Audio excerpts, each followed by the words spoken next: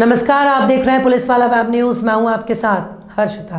जबलपुर के गोहलपुर थाना क्षेत्र अंतर्गत दमोह नाका शांति नगर, गली नंबर 16 के पास रहने वाले दो किराएदारों के बीच पानी बहने को लेकर विवाद हो गया, जहाँ एक किराएदार ने दूसरे किराएदार पर चाकू से हमला कर दिया, जिसमें एक की मौत हो गई, वहीं दो गंभीर रूप से घायल हैं, जिन्हें इलाज के लिए जबलपुर के मेडिकल अस्पताल में भर्ती कराया गया, जहाँ घटना की जानकारी लगते ही मौके पर पहुँची पुलिस ने मामला दर्ज करते हुए फरार आरोपी की तलाश शुरू कर दी। वहीं पूरे मामले में जानकारी देते हुए थाना प्रभारी गोहलपुर ने बताया कि राजेंद्र सोनी आशीष श्रीवास्तव दोनों ही किराएदार हैं। जहाँ पानी बहने को लेकर राजेंद्र सोनी ने मना किया तो आशीष ने अपने पास रखा चाकू निकाला और उसके साले शिवा सोनी उसके दोस्त लकी सोनी साथ ही जीजा सा,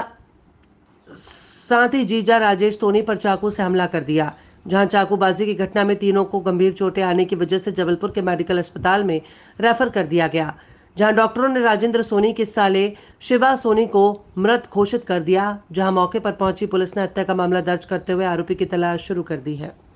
हाँ सूचना प्राप्त हुई कि शांति नगर में सत्रह नंबर गली पे राजेंद्र सोनी का जो मकान है, जहाँ रहते हैं वो, वहाँ ऊपर किराए से, दोनों किराएदार, राजेंद्र सोनी भी किराएदार हैं और इस प्रकरण में जो आरोपी है राजेश श्रीवास्तव, वो ऊपर वो भी किराएदार है। पानी बहने को लेके इनका नल से पानी बह रहा था, उसको लेकर विवाद हुआ, गाली गलौच हुई। उसी समय जो राजेंद्र सोनी है, उनके साले मनोज और शिवा सोनी, वो भी वहीं पे थे। उनके साथी के साथ खड़े हुए थे, उनके गाली गलौच हो रही थी आपस में। गाली गलौच होने के बाद जो है आशीष श्रीवास्तव जो है, वो अपने पास चाकू रखा हुआ था। उसे वाद विवाद के दौरान उसने उसके साथ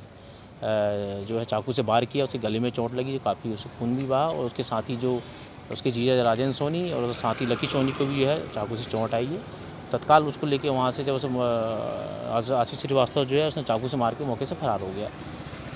अ, मौके पे जो राजेंद्र सोनी और लकी सोनी थे इन लोगों ने मनोज और शिवा को साथ में लेके तत्काल मेट्रो अस्पताल लेके आए चूँकि बहुत ज़्यादा खून बह गया था चोट लगने से अस्पताल लाए तो मेट्रो वालों ने उसको रेफर मेडिकल की मेडिकल लेके आए तो डॉक्टर ने उसको मृत घोषित किया। तो उस पर जो है मौके पर ही देहाती नासी मर्ग मिशन और अपराध की जो है आरोपी अशी श्रीवास्तव के विरुद्ध अपराध पंजीबद्ध कर लिया गया और आरोपी की पतरसी के लिए टीम गठित हो गई है और अभी सघन पतरसी जारी है आरोपी की। आरोपी जो है ये इसके साथ एक ही आरोपी था कि इसके साथ और भी अभी जो हमारे पास जो सूचना आई है आशीष श्रीवास्तव अकेले चूँकि उनका पारिवारिक आपस में आस पड़ोस है ऊपर आशीष श्रीवास्तव रहता है नीचे राजेंद्र राजेंद्र सोनी रहते हैं जिनको भी चोट आई और उनके जो साल है जो ख़त्म हुए हैं वो वहीं आपस में रहते हैं और ऊपर से वो सिंगा अकेला है और अकेले साथ मारपीट करी है। सर जिसकी मृत्यु हुई है वो क्या नाम है? मनोज मनोज और शिवा सोनी? ये ये वहीं शांति नगर के रहने वाले ये ये सत्रह नंबर एक गली में ये रहने के जिया जी रहते हैं, दूसरी गली में लोग रहते हैं, वहीं बगल में रहते हैं मोहल्ले पे